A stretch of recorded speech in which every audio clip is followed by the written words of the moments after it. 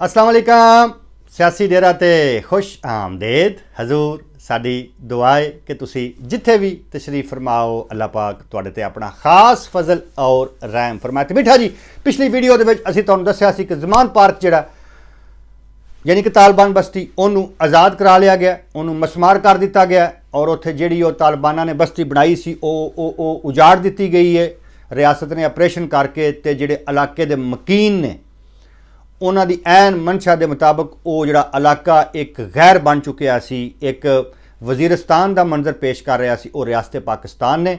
ਉਹ ਇਮਰਾਨ ਖਾਨ ਔਰ ਉਹਦੇ ਤਾਲਿਬਾਨਾਂ ਕੋਲੋਂ ਆਜ਼ਾਦ ਕਰਾ ਕੇ ਇਲਾਕੇ ਦੇ ਜਿਹੜੇ ਮਕੀਨ ਨੇ, ਉਹਨਾਂ ਦੀ ਜ਼ਿੰਦਗੀਆਂ ਜਿਹੜੀਆਂ ਨੇ, ਉਹ ਆਸਾਨ ਕਰ ਦਿੱਤੀਆਂ। ਇਹ ਅਸੀਂ ਤੁਹਾਨੂੰ ਦੱਸ ਚੁੱਕੇ ਹਾਂ ਪਿਛਲੀ ਵੀਡੀਓ ਦੇ ਵਿੱਚ ਕਿ ਉਥੋਂ ਕੀ ਕੀ ਬਰਾਮਦ ਹੋਇਆ। ਸਾਰੀਆਂ ਚੀਜ਼ਾਂ ਦਾ ਤੁਹਾਨੂੰ ਪਤਾ ਹੈ, ਤੁਸੀਂ ਸੋਸ਼ਲ ਮੀਡੀਆ ਤੇ ਵੀ ਵੇਖ ਲਈਆਂ ਨੇ, ਸਾਰਾ ਕੁਝ ਤੁਸੀਂ ਵੇਖ ਰਿਹਾ ਲੇਕਿਨ ਹਜੇ ਵੀ 2 ਤੋਂ 3 ਦਰਜਨ ਜਿਹੜੇ ਵੱਡੇ ਜੰਗਜੂ ਨੇ, ਜਿਹੜੇ ਪਾਕ ਫੌਜ ਦੇ ਨਾਲ ਜਿਨ੍ਹਾਂ ਨੇ ਜ਼ਰਬੇ ਅਜ਼ਬ ਵਿੱਚ ਲੜਾਈ ਕੀਤੀ ਸੀ, ਉਹ ਹਜੇ ਉੱਥੇ ਮੌਜੂਦ ਨੇ। ਕਿਉਂਕਿ ਇਮਰਾਨ ਖਾਨ ਦੀਆਂ ਤ੍ਰੈਵੇ ਭੈਣਾਂ, ਉਹਨਾਂ ਦੇ ਬੱਚੇ, ਅੱਗੋਂ ਉਹਨਾਂ ਦੇ ਬੱਚੇ ਛੋਟੇ ਛੋਟੇ ਉੱਥੇ ਮੌਜੂਦ ਨੇ, ਜਿਨ੍ਹਾਂ ਦੀ ਢਹਾਲ ਉਹ ਲੈ ਕੇ ਉੱਥੇ ਬੈੰਦਾ ਔਰ ਉਹਨਾਂ ਦੀ ਹਿਫਾਜ਼ਤ ਉਹ ਤਾਲਿਬਾਨ ਜਿਹੜੇ ਨੇ, ਉਹ ਜੰਗਜੂ ਕਰ ਰਹੇ ਨੇ। ਇਹ ਤੇ ਗੱਲ ਹੋ ਗਈ, ਇਹ। ਉਸ ਤੋਂ ਬਾਅਦ ਤੁਸੀਂ ਇਸਲਾਮਾਬਾਦ ਤੇ ਆ ਜਾਓ। ਇਸਲਾਮਾਬਾਦ ਉਹਨੇ ਪੇਸ਼ ਹੋਣਾ ਸੀ ਜੱਜ ਜ਼ਫਰ ਇਕਬਾਲ ਦੀ ਅਦਾਲਤ ਦੇ ਵਿੱਚ। ਵੱਡੀਆਂ ਖਬਰਾਂ ਲੈ ਕੇ ਤੁਹਾਡੀ ਖਿਦਮਤ ਵਿੱਚ ਮਿੱਠਾ ਜੀ, ਮੈਂ ਹਾਜ਼ਰ ਹੋਇਆ। ਵੱਡੀਆਂ ਖਬਰਾਂ, ਯਕੀਨ ਕਰੋ। ਮੈਂ ਤੁਹਾਨੂੰ ਕਿਹਾ ਸੀ ਨਾ ਕਿ ਰਿਆਸਤ ਆਸਤਾ ਆਸਤਾ ਆਸਤਾ ਆਸਤਾ ਇਹਨੂੰ ਬੇਨਕਾਬ ਕਰਦੀ ਜਾਏਗੀ।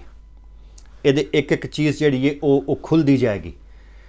ਆਵਾਮ ਹੈ ਪਾਕਿਸਤਾਨ ਦੇ ਸਾਹਮਣੇ ਇਹਦਾ ਅਸਲ ਚਿਹਰਾ ਜਿਹੜਾ, ਉਹ ਹਕੂਮਤ ਲੈ ਕੇ ਆ ਰਹੀ ਹੈ ਹਾਂ, ਹਕੂਮਤ ਸਲੋ ਜਾ ਰਹੀ ਹੈ ਲੇਕਿਨ ਪਿੱਛੇ ਬੈਠ ਕੇ ਸਾਰੀਆਂ ਪਲਾਨਿੰਗਾਂ ਕਰ ਰਹੀ ਇਹ ਨਹੀਂ ਕਿ ਰਿਆਸਤ ਸੁੱਤੀ ਹੈ ਨਹੀਂ।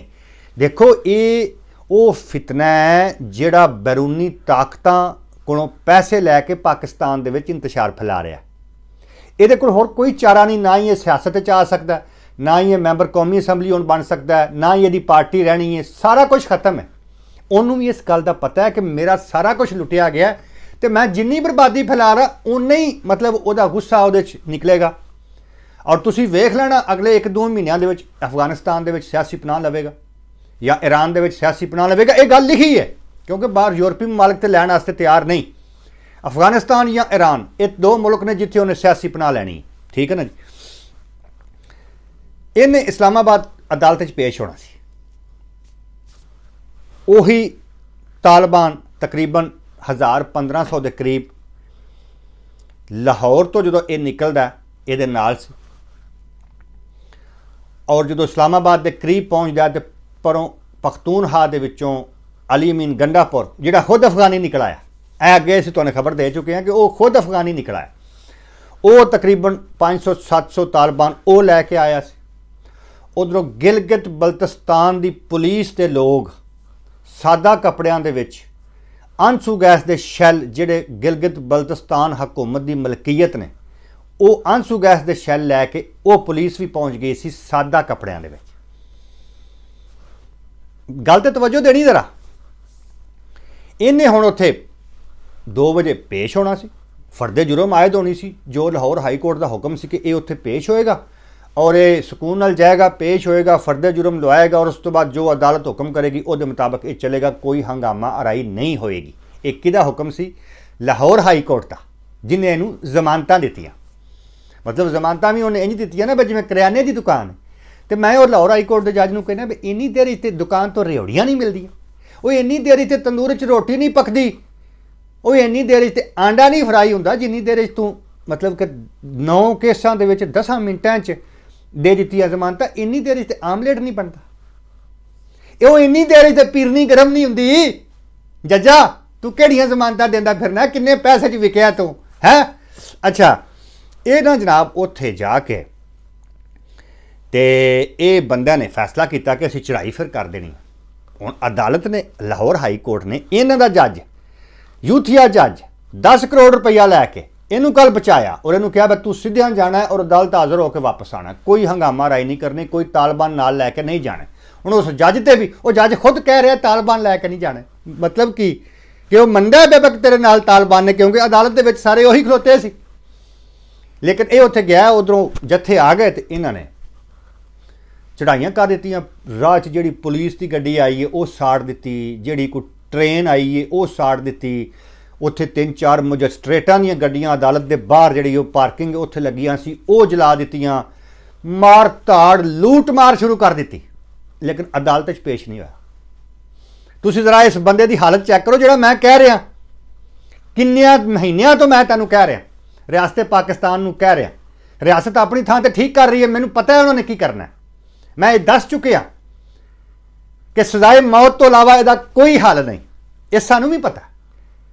ਲੇਕਿਨ ਅਸੀਂ ਉਹਦਾ ਚਿਹਰਾ ਬੇਨਕਾਬ ਕਰ ਰਹੇ ਹਾਂ।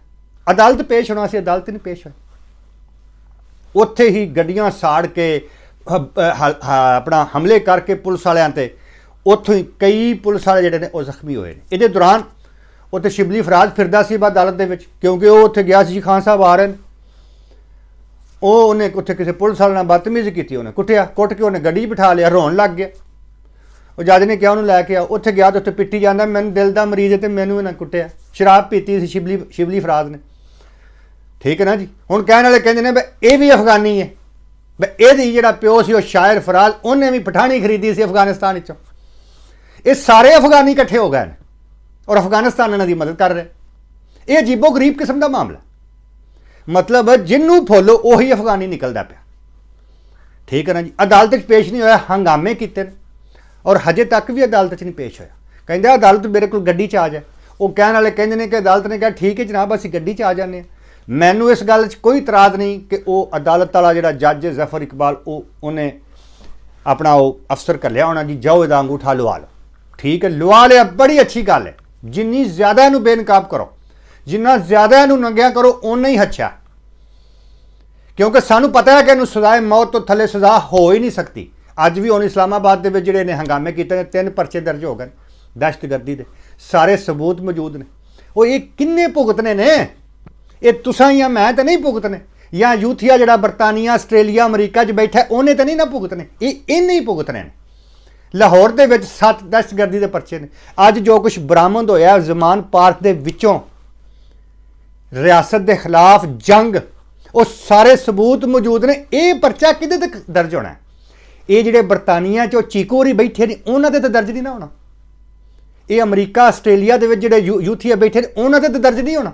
ਅੱਜ ਜੋ ਕੁਝ ਬਰਾਮਦ ਹੋਇਆ, ਜ਼ਮਾਨ ਪਾਰਕ ਵਿੱਚੋਂ ਇਹਦਾ ਪਰਚਾ ਵੀ ਤੇ ਇਮਰਾਨ ਖਾਨ ਤੇ ਹੀ ਹੋਣਾ ਨਾ, ਉਹਦੇ ਘਰ ਦੇ ਵਿੱਚੋਂ ਬਰਾਮਦ ਹੋਇਆ ਸਾਰੀ ਵੀਡੀਓ ਬਣੀ ਹਰ ਸ਼ਾ। ਸਹਾਫੀ ਨਾਲ ਸੀ ਜੋ ਹਾਈ ਕੋਰਟ ਨੇ ਆਰਡਰ ਕੀਤਾ ਸੀ। ਲੋਕ ਨਾਲ ਸੀ ਔਰ ਸਾਰੀਆਂ ਵੀਡੀਓ ਬਣੀਆਂ ਨੇ, ਉਥੋਂ ਕੀ ਕੀ ਬਰਾਮਦ ਹੋਇਆ? ਤੇ ਇਹ ਪਰਚਾ ਇਹਦੇ ਤੇ ਦਰਜ ਹੋਣਾ ਹੋਰ ਕਿਸ ਤੇ ਹੋਣਾ? ਤੇ ਇਸ ਵਾਸਤੇ ਸਜ਼ਾਏ ਮੌਤ ਤੋਂ ਥੱਲੇ ਦੀ ਕੋਈ ਸਜ਼ਾ ਨਹੀਂ। ਹੋ ਹੀ ਨਹੀਂ ਸਕਦੀ ਨਾ। ਮਤਲਬ ਰਿਆਸਤ ਦੇ ਖਿਲਾਫ ਬਗਾਵਤ ਦੀ ਕਿਸੇ ਵੀ ਮੁਲਕ ਵਿੱਚ, ਦੁਨੀਆ ਦੇ ਵਿੱਚ 250 ਮੁਲਕ ਨੇ। ਕਿਸੇ ਵੀ ਮੁਲਕ ਦੇ ਵਿੱਚ ਰਿਆਸਤ ਦੇ ਖਿਲਾਫ ਬਗਾਵਤ ਦੀ ਸਜ਼ਾ ਕੀ ਹੈ? ਸਜ਼ਾਏ ਮੌਤ। ਇਹ ਲਿਖੀ ਜਾ ਚੁੱਕੀ ਹੈ। ਤਰੀਕੇ ਇਨਸਾਫ ਸਿਆਸਤ ਨਹੀਂ ਕਰ ਸਕਦੀ। ਪਾਰਟੀ ਖਤਮ ਹੋ ਚੁੱਕੀ ਹੈ। ਔਰ ਇਹਨੂੰ ਸਜ਼ਾਏ ਮੌਤ ਹੋਣੀ ਹੋਣੀ ਹੈ। ਤੁਸੀਂ ਜਿੰਨੇ ਮਰਜ਼ੀ ਜ਼ੋਰ ਲਾ ਲਓ, ਜਿੰਨੇ ਮਰਜ਼ੀ ਤਾਲਬਾਨ ਆ ਜਾਣ, ਇਹ ਕੋਈ ਨਹੀਂ ਬਚਾ ਸਕਦਾ। ਤੇ ਇਹ ਜਨਾਬ ਉੱਥੇ ਅਦਾਲਤ 'ਚ ਵੀ ਪੇਸ਼ ਨਹੀਂ ਹੋਇਆ ਅੱਜ ਇਸਲਾਮਾਬਾਦ। ਮਜ਼ੀਦ ਨੰਗਾ ਹੋਇਆ। ਉੱਥੇ ਹੰਗਾਮਾ ਆਰਾਈ ਕੀਤੀ ਤੋੜ ਫੋੜ ਕੀਤੀ ਜਲਾਓ ਗਰਾਓ ਕੀਤਾ। ਔਰ ਤਿੰਨ ਚਾਰ ਲੋਕ ਉੱਥੇ ਫੜੇ ਵੀ ਗਏ ਕੁਝ ਕੁਝ ਅਫਗਾਨੀ ਉੱਥੇ ਫੜੇ ਵੀ ਗਏ ਨੇ ਕਿ ਤਿੰਨ ਚਾਰ ਦਰਜਨ। ਔਰ ਕੋਈ ਇੱਕ ਦੋ ਇਹਦੇ ਪਾਰਲੀਮੈਂਟੇਰੀਅਨ ਜਿਹੜੇ ਨੇ, ਉਹ ਵੀ ਫੜੇ ਗਏ ਨੇ, ਉਹ ਤਾਂ ਖੈਰ ਛੁੱਟ ਜਾਣਗੇ। ਉਹਨਾਂ ਦਾ ਕੀ ਵਿਚਾਰਾ ਦਾ ਕਸੂਰ ਉਹ ਤਾਂ ਮਜਬੂਰੀ ਤੋਂ ਆਉਂਦੇ ਉਹਨਾਂ ਨੇ, ਉਹਨਾਂ ਨੂੰ ਤੇ ਧੱਕੇ ਨਾਲ ਬੁਲਾਇਆ ਜਾਂਦਾ ਨਾ, ਉਹਨਾਂ ਦਾ ਵਿਚਾਰਾ ਦਾ ਕੀ ਕਸੂਰ ਹੈ? ਕਸੂਰ ਤੇ ਇਹਦਾ ਨਾ ਜਿਹੜਾ ਬੁਰਾਈ ਦੀ ਜੜ ਹੈ, ਇਹ ਜਿਹੜੇ ਨਾਲ ਇਹਦੇ ਨੇ ਹਮਾਦ, ਅਜ਼ਰ, ਅਸਦ, ਉਮਰ, ਉਹਨਾਂ ਦਾ ਮੈਂ ਸਮਝਣਾ ਕੋਈ ਕਸੂਰ ਨਹੀਂ। ਉਹਨਾਂ ਕੋਲ ਰਸਤਾ ਹੋਰ ਕੋ ਨਹੀਂ। ਉਹ ਖੇਡਦੇ ਨੇ ਪਿਆਉਣ ਫੈਸਲਾ ਵਾਡਾ ਕਹਿੰਦਾ ਕਿ ਇਹਨਾਂ ਨੂੰ, ਇਹਨਾਂ ਦੇ ਰਾਬਤੇ ਨੇ ਇਸਰਾਇਲ ਦੀ ਜਿਹੜੀ ਖੁਫੀਆ ਏਜੰਸੀ ਉਹਦੇ ਨਾਲ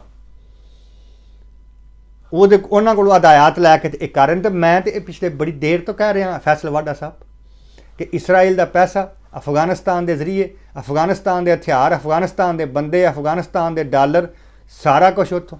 ਤੇ ਮੈਂ ਤੇ ਬੜੀ ਦੇਰ ਦਾ ਕਹਿ ਰਿਹਾ ਤੇ ਫੈਸਲ ਵਾਡਾ ਸਾਹਿਬ, ਤੁਹਾਨੂੰ ਹੁਣ ਹੋਸ਼ ਆਈ? ਤੇ ਇਸ ਵਾਸਤੇ ਤਾਲਿਬਾਨ ਦੇ ਹਮਲਾ, ਇਸਲਾਮਾਬਾਦ ਤੇ ਹਮਲਾ ਔਰ ਕਈ ਪਰਚੇ ਦਰਜ। ਆਖਰੀ ਜਿਹੜੀ ਇਹਦੀ ਸਜ਼ਾ ਹੈ, ਉਹ ਸਜ਼ਾ ਮੌਤ ਹੈ। ਬਹੁਤ ਸ਼ੁਕਰੀਆ।